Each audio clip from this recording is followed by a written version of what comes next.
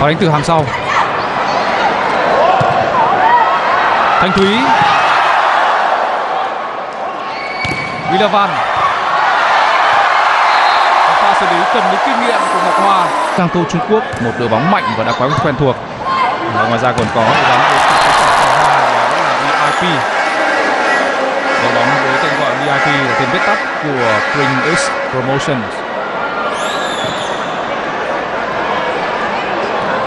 trở lại một trận đấu và các cô gái VTB Biển Long An vừa giành thêm một điểm nữa 17-11 các cô gái VTB Biển Long An và ngay cả các mũi tấn công của các cô gái áo xanh lúc này cũng đang bị đối phương bắt bài Và cái điểm vừa rồi, rất kinh nghiệm của Ngọc Hòa, khiến chúng ta lại phải nghĩ đến vai trò thủ lĩnh của Ngọc Hòa ở những thời điểm khó khăn như thế này. Ái VTB Bình Điền Long An. Đây là Huy La Văn sẵn sàng ở vị trí số 4.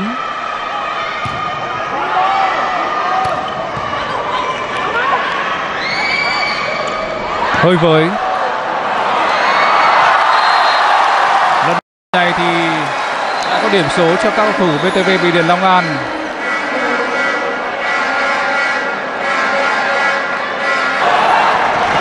Ngọc Hoa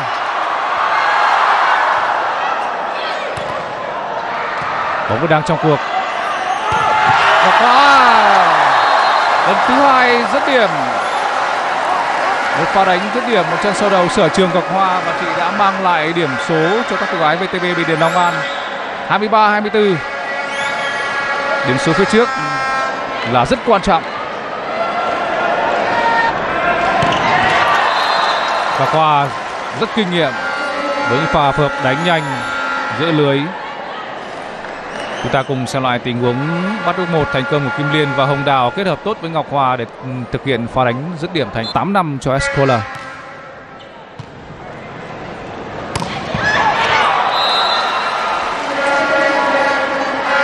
Lần này thì Ngọc Hòa đã dứt điểm gọn ghẽ với pha phập ừ, đánh nhanh giữa lưới. Hai tay chắn theo bám vẫn không thể ngăn chặn được ừ, cho đội chủ giải VTB Bình Điền Long An. Một sự vươn lên xuất sắc. Bước một không thành công và Ngọc Hoa đã vừa xuất sắc tình huống này với kinh nghiệm và bản lĩnh của mình ở giữa lưới 16 13 sự vươn lên tuyệt vời các cô gái VTB Bình Điền Long An ở xe đấu thứ tư này sau khi phải bám đuổi trước đó hai đội bước vào hội kỹ thuật lần thứ hai với lợi thế cho VTV Bình Điền Long An.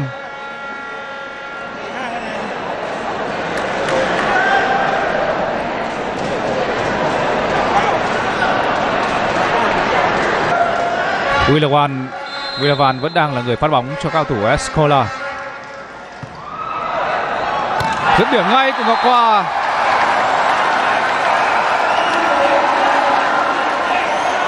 Vẫn là Ngọc Hòa ở những thời khắc quan trọng nhất. Điểm thứ 24 rồi. 24-18 cho cao thủ VTV Bình Điền Long An, một điểm nữa thôi. Họ sẽ có được chiến thắng.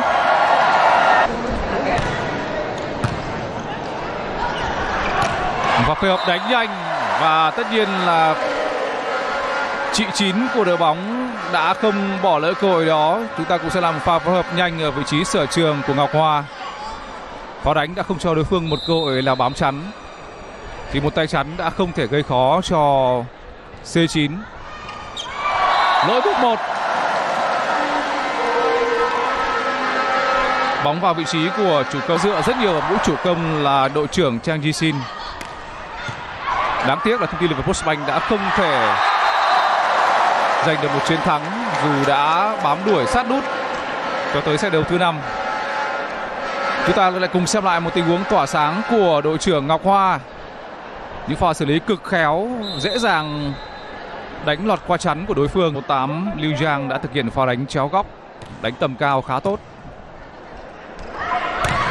Dương Hên có mặt. Bọc lót rất tốt của Dương Hên. Và Ngọc Hoa lại sử dụng kỹ thuật và kinh nghiệm của mình trong pha xử lý vừa rồi.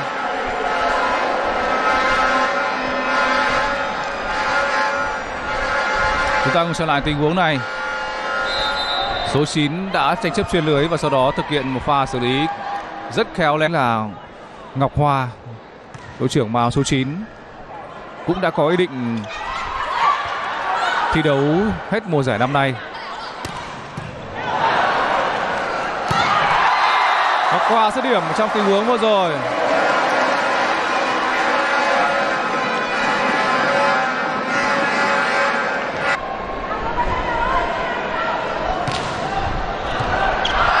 Lỗi một như vậy là bên phía các cô gái Phúc Kiến Trung Quốc cũng đã gặp khá nhiều vấn đề với bước 1 ở trong set đấu đầu tiên này. Tiếp tục là 30 giây hội ý lần thứ hai. Cử bóng rất hay. Ngọc Hoa đã cho thấy được sự vượt trội của mình. Đó là sự đối đầu giữa hai đội trưởng. Phải nói rằng Jang Jisin cũng đã rất nhanh trong những tình huống xử lý và kinh nghiệm thực hiện những pha đánh xạ trên lưới. Nhưng ngay khi đồng đội cứu được bóng thì Ngọc Hoa cho thấy được sự nhanh nhẹn và tỉnh táo của mình trong pha Jisin. không qua được tay chắn rồi 14-15 cho các cầu thủ VTV Bình Điền Long An rất tập trung bám chắn và thành công tình huống này của Dương Hên và Ngọc Hoa.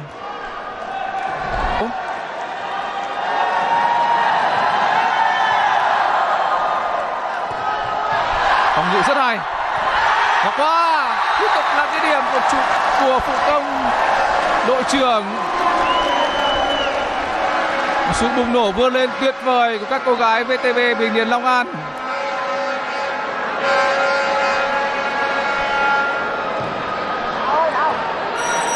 Sự bùng nổ các bóng hiểm, khiến đối phương khó triển khai các mũi đánh. Và các vị trí khác của đội bóng áo xanh cũng đã thi đấu tuyệt vời. Chúng ta thấy được niềm vui của đội viên Nguyễn Quốc Vũ cùng với sự vươn lên của các học trò của mình. Chắn bóng rất hay của Ngọc Hoa và Hồng Đào. 22-16 và dù cho họ đã có tiến bộ, nhưng rõ ràng đây là trận đấu mà họ sẽ cần phải làm tốt khâu đầu tiên này bóng vẫn vào vị trí của Thanh Thúy. Ngọc Hoa ra tay rất nhanh. Phạt hợp rất ăn ý của Hồng Đào và đội trưởng Ngọc Hoa.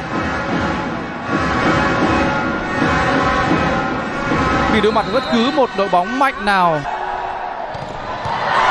Phòng ngự rất hay các cô gái VTV Bình Điền Long An.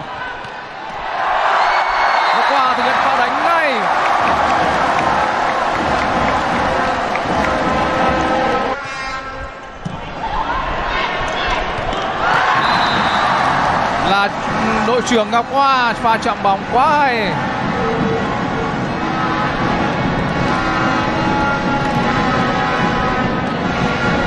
Ngọc Hoa không chỉ là một trong những phụ công hàng đầu Việt Nam mà còn của khu vực khi đã cùng với Bangkok Glass giành được khá nhiều vinh quang. Và đã được nhận những danh hiệu khi thi đấu cùng với đội bóng của Thái Lan.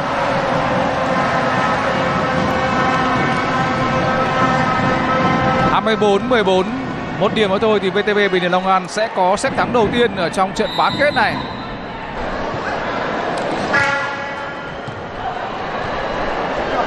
hai tình huống bắt bước có phần chệch choạc. Ngọc Hòa đã đánh ngay và thành công rồi. Những pha xử lý đẳng cấp của Ngọc Hòa khi pha nhảy phát bóng vô cùng chính xác và mạnh mẽ. Ngọc Hoa tấn công ngay Ngọc Hoa ghi điểm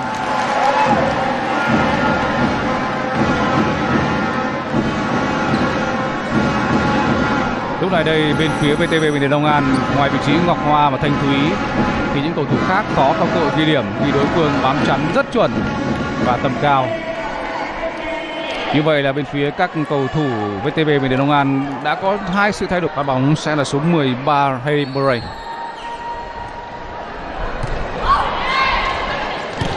Quả phập đánh nhanh. quả phập nhanh và chính xác là rất cần thiết hoàng khoa đã tỏa sáng trong pha giành điểm. Cú đánh sở trường của số 9 đội trưởng đã từng giúp chị thành danh ở đấu trường Châu Lục. bước một rất cố gắng hoàng khoa khá kinh nghiệm tình huống này pha xử lý quá tinh tế.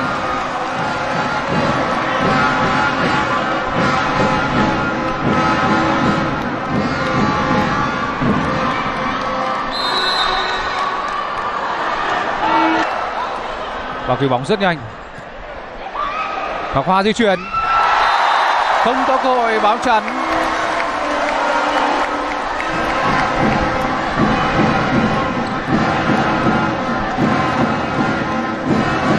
Cô gái VTV Bình Định Long An đang thi đấu với tinh thần rất cao. Ngọc Hoa lúc này đang quá hay, thể hiện vai trò thủ lĩnh của mình. Vì đó là rất cần thiết để giúp cho VTV Bình Định Long An có được thế trận cũng như là để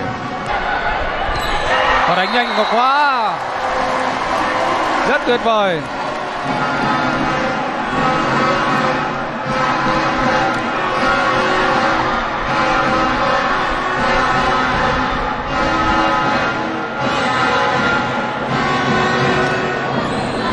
VTV Bình Điền Long An tiếp tục vươn lên dẫn điểm trước bằng sự tỏa sáng của đội trưởng Ngọc Hoa.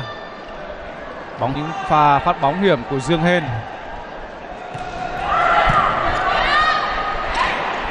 Quá với. Ngọc Hoa. Quá rất tốt. Bỏ nhỏ quá chính xác của Ngọc Hoa.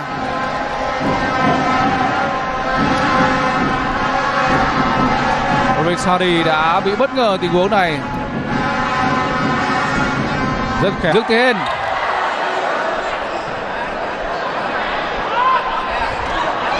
Cơ hội di chuyển tấn công của Ngọc Hoa. Điểm số rồi. Một không cho các cô gái VTV Bình Điền Long An. Ngọc Hoa đã tỏa sáng. Đây chắc chắn sẽ là xe đấu cao thủ VTV Bình Long An sẽ phải thi đấu rất tập trung và cần sự tỏa sáng của Ngọc Hoa.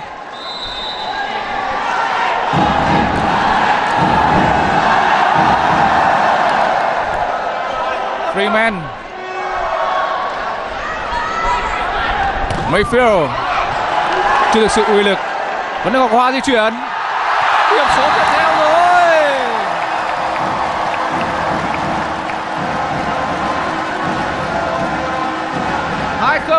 Không Bình Điền Long An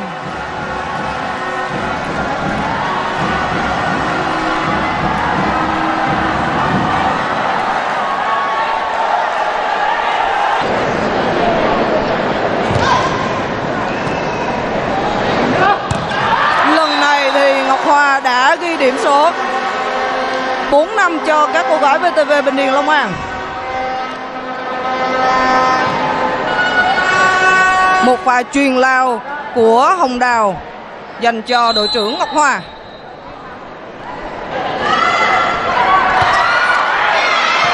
Bóng ra ngoài. Bảy đều cho cả hai đội.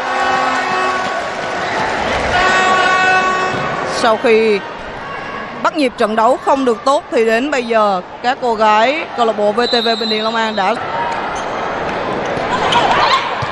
nỗ lực cứu bóng của Dương Thị Hên là rất đáng khen. Bóng vẫn còn trong cuộc.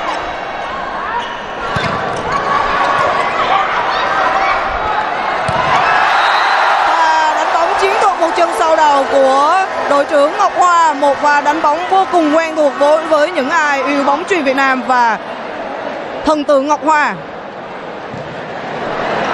Chúng ta cùng theo dõi lại pha bóng này. Lúc này thì huấn luyện viên Hồ Tiến Bóng vẫn còn, Linh Du Xin đã phòng thủ tốt. Bây giờ là Trần Thị Thanh Thúy.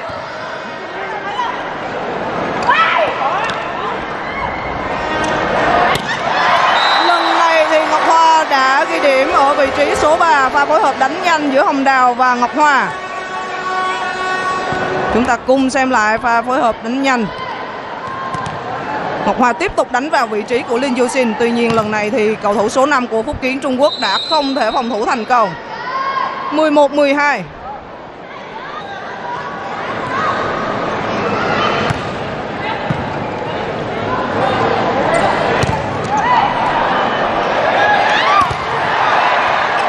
Bóng vẫn còn trong cuộc. Ngọc Hoa đã thực hiện một pha bỏ các cô gái câu lạc bộ Phúc Kiến Trung Quốc và rơi xuống phần sân của họ. Hàng sau không thể hỗ trợ kịp thời trong tình huống này. Libero Linh Linh đã lao lên nhưng cô không kịp thời hỗ trợ.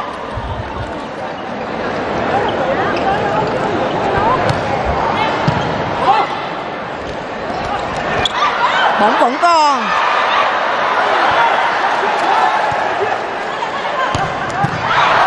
Kim thành phòng thủ tốt.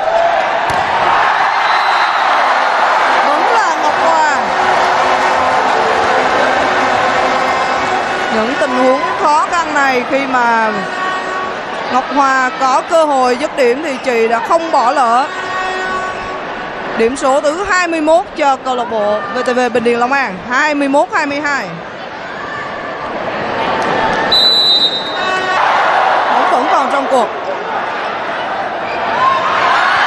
Tiếp tục là Ngọc Hoa Lần này thì Ngọc Hoa xử lý chiến thuật một chân sau đầu, chỉ đẩy bóng sang phần sân của đối phương. Không phải là một pha đập bóng mạnh, mà chỉ là một pha đẩy bóng sang phần sân của đối phương và các cầu thủ quốc Kiến không thể phòng thủ trong tình huống này. Khoảng trống đã được tạo ra và Ngọc Hoa đã tận dụng. Và chuyền bóng không tốt của Hồng Đào cho Thanh Thúy. Tuy nhiên sau đó thì Hồng Đào và Ngọc Hoa đã chắn đôi thành công. Tỷ số điểm là 12-7 Câu lạc bộ Phúc Kiến, đó là Mi Giang. Người chơi ở vị trí chuyên hai. Tuy nhiên thì bây giờ thì Mi Giang đã chuyển sang thi đấu cho câu lạc bộ khác Và ban đội trưởng thuộc về Gen Jixin trong tình huống vừa rồi thì Gen bóng vẫn còn trong cuộc. Đây là Lưu Giang.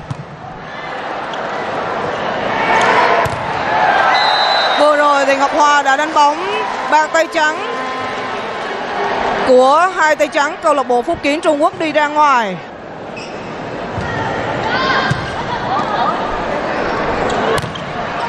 Bóng vẫn còn.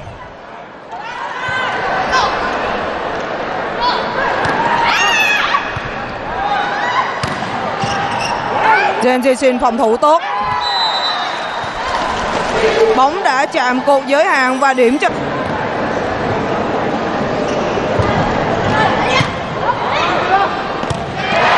Và ghi điểm sở trường của đội trưởng Ngọc Hoa. Và phối hợp đánh nhanh ở vị trí số 3 giữa Hồng Đào và Ngọc Hoa. Bây giờ thì Ngọc Hoa sẽ xuống cầu dưới phát bóng. Và cầu trên lúc này ở vị trí phụ công là sự gấp mặt. Và xử lý đầy kinh nghiệm của Ngọc Hoa và điểm số thứ 24 đã thuộc về VTV Bình Điền Long An. Bây giờ thì thầy trò huấn luyện viên Nguyễn Quốc Vũ hoàn toàn có quyền tự quyết trong trận đấu này. Ừ. Hàng trắng của câu lạc bộ Phúc Kiến Trung Quốc đã làm việc rất tập trung trong tình huống vừa rồi.